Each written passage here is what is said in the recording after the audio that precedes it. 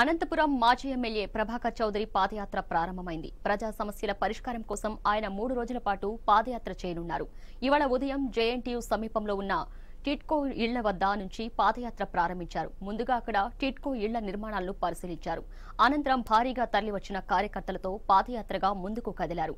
టిట్కో ఇళ్ళ విషయంలో ప్రభుత్వం వివక్ష చూపుతోందని ప్రభాకర్ ఆగ్రహం వ్యక్తం చేశారు.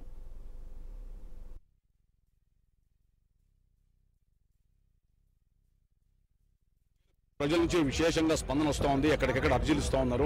మాకు ఈ సమస్యలు ఉన్నాయి. కార్డులు తొలగించారు పెన్షన్ తొలగించారు. సరైంది సరైనది కాదు. అందుకనే నేను ముఖ్యుల తస్తాలతో ప్రజాస్వామ్యబద్ధంగా శాంతియుతంగా అనంతపురం శాసనసభ్యులు గారిని అదేవిధంగా ఇతర ప్రజాప్రతినిధుల్ని మంత్రి గారిని జిల్లా మంత్రి గారిని రాష్ట్ర ముఖ్యమంత్రి వారిని కూడా అభ్యర్థిస్తున్నా. మీరు వివక్షత చూపించొద్దండి. మీరు అర్హులకు ఇవ్వండి. అదేవిధంగా ఇల్లు అప్పచెప్పడమే కాకుండా అపరిశుక్తంగా ఉన్నటువంటి గురవకుమ డ్రైన్. పద్దెనిమిది కోట్లతో అమృత్ స్కీమ్ కింద తీసుకొని వస్తే ఆ డ్రైన్లో అశోక్ నగర్ బ్రిడ్జ్ కూడా కట్టాలని చెప్పి మేము శ్వేతపత్రం రిలీజ్ చేసాం జీవోలు రిలీజ్ చేసాం ఒక ఆయన అంటున్నాడు మీరు ఏం వద్దు చేశారని.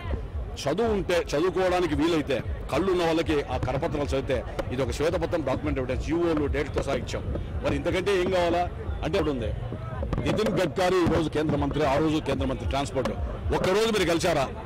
రాష్ట్ర పది నుంచి కేంద్ర పరిధి పంపించడానికి ఆ రోజు నిధులు లేవని ఒకటిన్నర సంవత్సరం చేపడ్డా నా దగ్గర డాక్యుమెంటరీ ఎవిడెన్సెస్ ఉన్నాయి. ఈ గారు రాసిన ఉత్తరాలు ఉన్నాయి. ఇవన్నీ కూడా ఎక్కడ చేశారో అందుకనే మీ ద్వారా ఈ ఈ యొక్క డాక్యుమెంటరీ ఎవిడెన్స్తో నేను ఇచ్చాను.